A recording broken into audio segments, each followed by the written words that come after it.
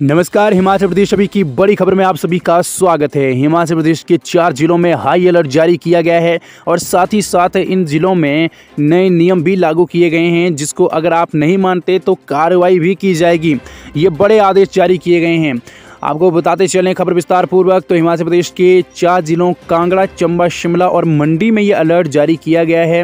इन जिलों में आपको बताते चले कि तेज़ी के साथ कोरोना के मामले बढ़ रहे हैं। कांगड़ा में पाँच सौ पैंसठ, चंबा में चार सौ बत्तीस, शिमला में तीन सौ छब्बीस और मंडी में दो सौ उनसठ सक्रिय मामले हो गए हैं, जिसको लेकर कोरोना अलर्ट ही जारी किया गया है। और इस बार आप इस अलर्ट को जो है हल्के में बिल्कुल मत लीजिएगा, क्योंकि आपको बताते चलें कि स्कूलों में बिना मास्क के एंट्री पर रोक लगा दी गई है। किसी कार्यालय में भी बिना मास्क पर जो है वो रोक लगा दी गई है।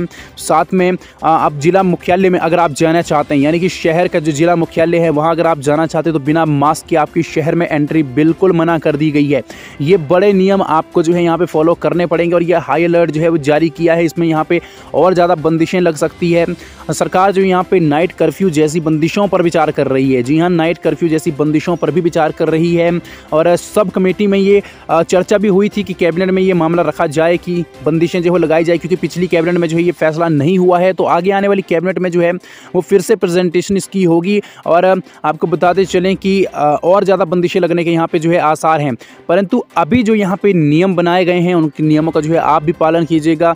जो भी एडवाइजरी जारी की गई है, स्वास्थ्य विभाग द्वारा जो भी अलर्ट जारी किया गया है तो आप भी सतर्क रहिएगा, सुरक्षित रहिएगा, क्योंकि आपको बताते चलें कि सैंतीस कोरोना मरीज़ जो है वो उपचाराधीन है और हर दिन जो है वो एक से दो मरीजों की मृत्यु भी कोरोना से हो रही है, जो कि बेहद ज़्यादा जो है वो डरावना यहाँ पर हिमाचल प्रदेश में फिर से हो गया है।